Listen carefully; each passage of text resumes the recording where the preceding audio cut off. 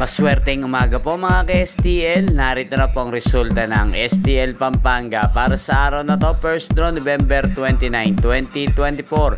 Araw ng biyernes, naway ang mga natayan niyo pong mga numero kanina ay manalo nawa ngayong umagang ito.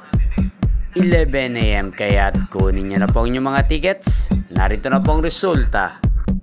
Ang mga numerong nanalo sa STL Pampanga ngayong araw na to, November 29, 2024. First draw result, 11am, 28 at 29 in exact order. Sa lahat po ng tumaya kanina sa STL Pampanga para sa first draw ng 28 at 29. Congrats po sa inyo. Panalo po kayo. Again, 28 at 29. At shoutout po natin ngayong umagang ito sa STL Pampanga si Ate Aisa. Ate Aisa ng Pampanga, shoutout po sa iyo naway swertehin ka na rin sa STL Pampanga ngayong araw na to. At sa lahat po ng mga taga Pampanga dyan, shoutout po sa inyo, lalong lalo na po sa aking mga subscribers na walang sawang nanonood ng aking mga videos. Shoutout po sa inyo. At magkita-kita pong muli tayo mamayang alas 4 ng hapon dito po sa channel na to. Thank you for watching.